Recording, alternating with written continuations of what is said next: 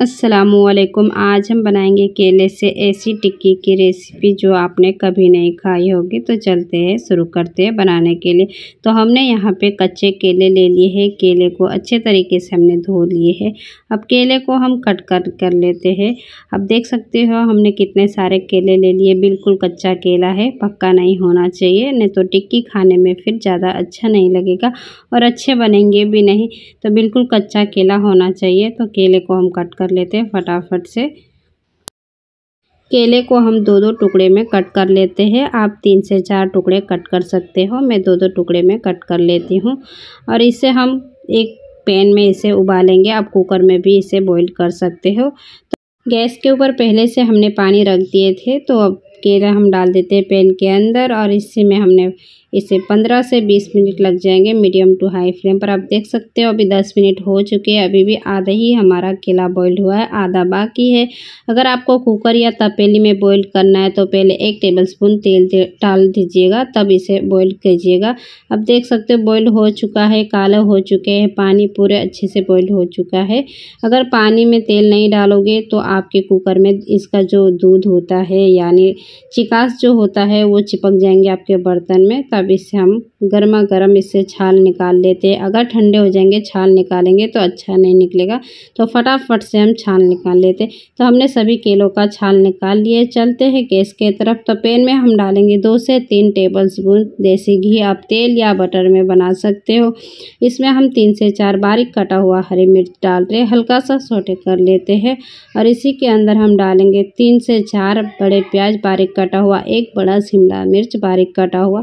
तो सभी को हम पैन के अंदर डाल देते हैं और हल्का सा इसे हम सोटे करेंगे, ज़्यादा हमें पकाना नहीं है। हल्का सा हम सोटे कर लेते हैं पंद्रह से तीस सेकेंड तक।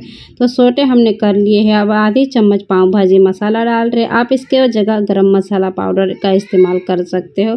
तो हल्का सा सोटे हमने कर दिए। अब गैस को हम बंद कर देते हैं और केला डाल देते हैं। तो हमने केला डाल दिया और के एक चम्मच हम आमचूर पाउडर डाल रहे हैं। स्वाद अनुसार नमक और थोड़ी सी हम कोथमीर डालकर इसे अच्छे से मैसर की मदद से हम इसे अच्छे से मैश कर लेते हैं। गैस को हमें बंद करके मैश करना है तो अच्छे से हमने मैश कर दिया। आप देख सकते हो, अब इसे अच्छे से चम्मच से हम मिक्स कर देते हैं और नीचे उतार लेते हैं और एक बर्तन में इसे हम खाली कर देते हैं। अब देख सकते हो, ज़्यादा हमें प्याज और शिमला मिर्च को मैश नहीं करना है। केला को हमने अच्छे से थोड़ा मैश किया है, ताकि कोई लम्स ना रहे। इस तरह हमने अच्छे से मैश किया है। एक चम्मच धनिया पाउडर, आधी चम्मच काली मरी जीरे का पाउडर, आ एक चम्मच लाल मिर्च का पाउडर। तीखा आपके ऊपर है, कम ज़्यादा कर सकते हो। आज एक इंच अदरक का टुकड़ा को कद्दूकस कर लेते हैं और अच्छे से इसे हम मिक्स कर देते हैं। इससे अच्छा जायका आ जाएगा और स्वाद भी एक अलग सा आ जाएगा। तो अच्छे से हम पहले मिक्स कर देते हैं इसे। उसके बाद इसमें थोड़ा सा हम कॉर्नफ्लावर डालेंगे। तो अच्छे से हमने मिक्स कर दिया है। दो चम्मच जैसा हम कॉर्नफ्लावर डाल रहे हैं। इससे कुरकुरापन आ जाएगा। ऊपर क्रंची जैसा फील होगा और अंदर नरम और सॉफ्ट हो जाएगा। तो अच्छे से हम डालकर इसे मिक्स कर लेते हैं। तो फटाफट हम मिक्स कर लेते हैं। थोड़ा सा हम हाथ से अच्छे से मिक्स कर लेते हैं। चम्मच से मिक्स किया है बट हाथ से अच्छे से मिक्स कर लेते हैं। तो अच्छे से फटाफट हम मिक्स कर लेते हैं।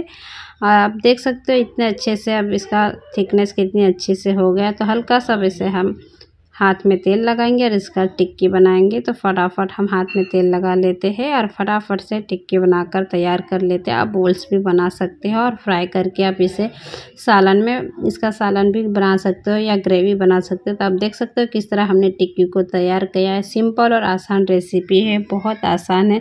तो फटाफट से इसी तरह टिक्की बनाकर हम तैयार कर लेते हैं। आप देख सकते हो बोल हमने भी किस तरह बनाया। बोल इस तरह बना सकते हो। आप इसके अंदर चीज़ या कोई भी चीज़ अगर स्टफिंग, फिलिंग डालना चाहते हो तो डाल सकते हो। तो अच्छे से हमने टिक्की बनाकर तैयार कर लिया है। बाकी का हम बाद में बनाएँगे। चलते हैं गैस की तरफ़। तो पैन में हम डालेंगे तीन से चार टेबलस्पून तेल डालेंगे। ज़्यादा तेल हमें इसमें इस्तेमाल नहीं करना है। तो तेल हमारा यहाँ पे गर्म हो चुका अब टिक्की को हम ऐड कर देते हैं फटाफट से और मीडियम टू हाई फ्लेम पर इसे हम फ्राई करेंगे। एकदम क्रंची और कुरकुरा हम इसे बनाकर तैयार करेंगे। तो एक साइड हो चुका है एकदम क्रंची और कुरकुरा, दूसरे साइड इसे हम पलट देते हैं और दूसरे साइड भी तैयार कर लेते हैं। इस तरह मीडियम टू हाई फ्लेम पर इसे हमें कुरकुरा करना है। तो आप देख सकते हो इसका कलर थोड़ा बाकी है। दूसरे साइड तो अच्छे से चेंज हो चुका है। दूसरे साइड भी अच्छे से कलर आ गया है। तो सभी को हम निकाल लेते हैं। कितना कम तेल में इतनी अच्छी रेसिपी बनकर तैयार हो जाती है। चलते फटाफट से सर्व कर लेते हैं। इस रेसिपी को एक बार ज़रूर ट्राई करें।